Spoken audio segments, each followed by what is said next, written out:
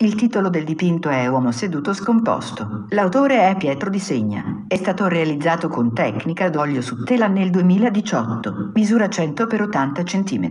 In questo dipinto l'astrazione delle forme del soggetto è servita a creare delle masse cromatiche che si coordinano in modo compatto. Di riconoscibile c'è solo un occhio rosso di profilo, la sedia rossa vista di profilo, una porzione di naso in azzurro a sinistra del dipinto, forse una scarpa fusa sotto la sedia. La colorazione della figura in primo piano è dominata da grandi campiture di colori freddi come verdi, blu, azzurri, qualche pennellata di giallo. Tutta la composizione del dipinto risuona grazie al quadrato rosso determinando equilibrio e tensione allo stesso tempo. Il fondo è l'arancione riscalda e contiene l'uomo seduto scomposto.